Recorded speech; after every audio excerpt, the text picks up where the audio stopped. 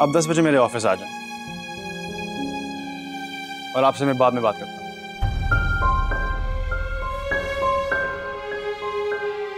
अभी जो आपके साथ हुआ, वो एक ट्रेलर था। दस बजे जो होगा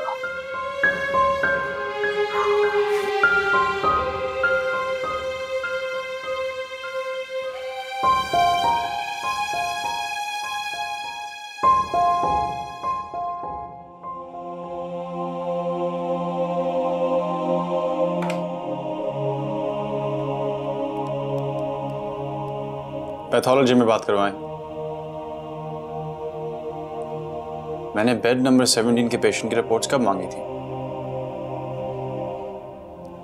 पेशेंट की रिपोर्ट्स मिलेंगे तो उनके ट्रीटमेंट के मुताबिक हम कुछ तय कर सकते हैं।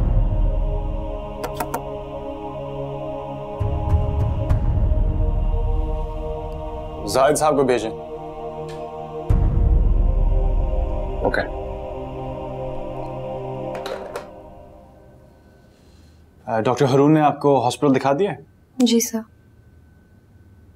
बात यह है डॉक्टर जूबिया कि हमें हमारे हॉस्पिटल के लिए एक लेडी डॉक्टर की ज़रूरत थी। आपके अलावा जो चंद लेडी डॉक्टर्स इंटरव्यू के लिए आई थी उन सब के पास एक्सपीरियंस था। तो उन सब पर आपको प्रेफरेंस देने की वजह? आपका पैशन नज़र आया। तो चैलेंज कबूल करना और इस एनवायरनमेंट में काम करने की जो इमोशनल बातें थी वो सिर्फ़ इंटरव्यू के लिए थी। सॉरी सर मैं कल से लेट नहीं आऊँगी। गुड हमारे हॉस्पिटल और हमारे मिशन के लिए यही बेहतर होगा। आपको वाकई एक डिफ़िकल्ट एनवायरनमेंट में काम करना पड़ेगा। आपके पास एक्सपीरियंस इतना है नहीं तो डॉक्टर शेरोज और मैंने डिसाइड किया कि आप मुझे असिस्ट करेंगे। ओके ओके मैंने यहाँ के स्टाफ के लिए कुछ रूल सेट किए जो मैं खुद भी फॉलो करता हूँ। और वो रूल्स क्या हैं? बहुत ही सिंपल। वक्त की पाबंदी और काम पूरी ज़िम्मेदारी और ईमानदारी से करना।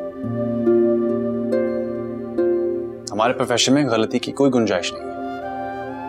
लोगों की ज़िंदगी हमारे हाथों में होती है। और हाँ एक बात और। मैं हर गलती माफ़ कर देता हूँ।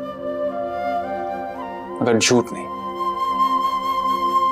कभी कोई भी गलती हो जाए तो मुझसे छुपाने या झूठ बोलने के बजाय मुझे सच बता देगा। Okay okay. आपको आइंदा शिकायत का मौका नहीं मिलेगा। शिकायत मुझे नहीं। पेशेंस को नहीं होनी चाहिए। पेशेंस को नहीं है तो समझ लो कि मुझे भी नहीं।